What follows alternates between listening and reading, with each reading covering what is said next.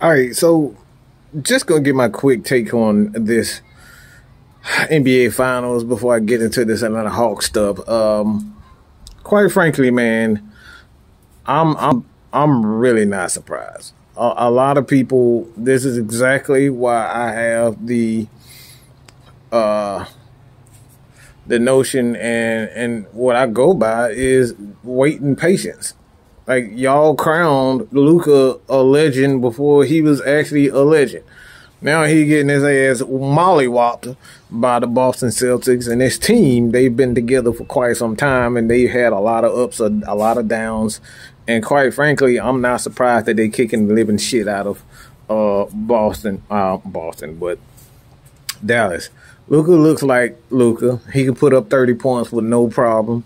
Um, but everything else is just absolute trash. Okay. Um, absolutely horrendous on defense. He should be ashamed of his fucking self.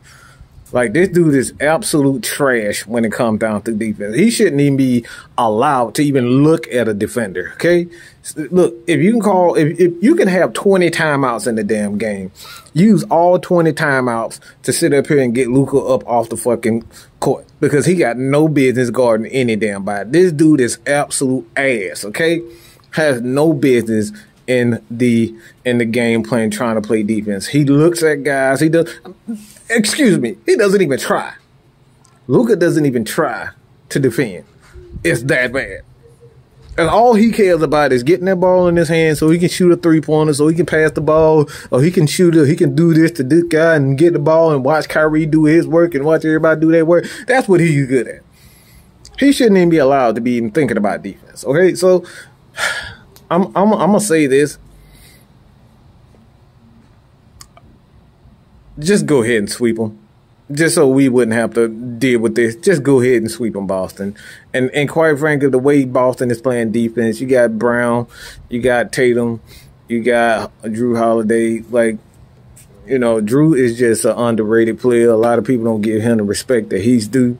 Um, he's just an all around guy. He he's just a baller, man. So Jrue Holiday definitely deserves uh, credit for doing what he's doing and helping, you know, help get Boston over that hump.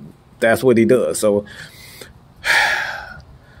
um, as far as the Atlanta Hawks is concerned, I know a lot of people probably been waiting on me to say this uh, in this particular video. Um, is that right now? the rumors are is that the Atlanta Hawks are not looking to trade Trae Young. A lot of people probably saying themselves, "Oh, we need to build, we need to start all over." Well, this ain't the draft to be trying to talk about starting over. There's no LeBron in this draft. There's no, you know, Trae Young. There, there's no guy, no clear cut favorite that you say, "All right, this is the guy that I'm going to build around." And I, I just don't see the Atlanta Hawks doing it. From what I understand, they're looking more towards uh, bringing these guys back and running it again and see what happens as far as that is concerned. And I think that's the best way to go, but that's just me. Let me know what you guys think about it. What the Atlanta Hawks should do uh, on whether or not these guys should run it back. Uh, but from what I'm hearing, also, the Atlanta Hawks are, if they were to trade, they want multiple. And I'm talking about multiple first round picks. And I don't blame them. So, like, if you're going to trade Trae Young, I need at the very minimum five first round pick. That's what I'm looking for. I need five. So if you can't give me five first round picks for Trae Young, and that's just the beginning, that's just the start, I don't want to hear shit. I don't want to hear shit.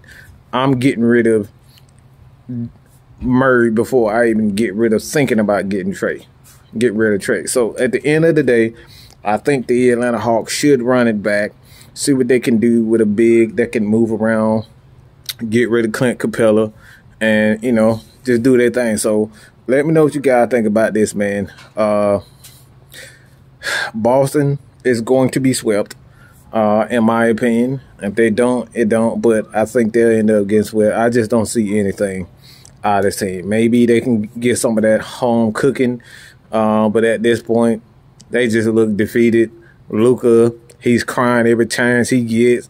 Every time he's on the ground, every time he's on the court, he's whining and crying about this and that. And look, just get it over with, Boston. Let's get it out. All right. so we can talk about something else. But like I said, at the end of the day, I do not see the Atlanta Falcons, oh, Atlanta Falcons, but the Atlanta Hawks, the Atlanta Hawks trading Trae Young. I think these guys are going to end up, you know, bringing him back. Uh, he and um, Murray back, we'll see. But a lot of people are, from what I'm understanding, is heating up with Murray. A lot of teams are trying to uh, bring him, uh, trying to uh, get with the Atlanta Hawks for his services. But we'll see. Like I said before, we'll see. Let me know what you guys think about that. This has been your boy, Mad Mike, with the Atlanta Hawks uh, rumor mill, as well as the NBA talk. That's all I got to say about that, man. Boston, sweep. Sweep it. Sweep it. Sweep it. Gone.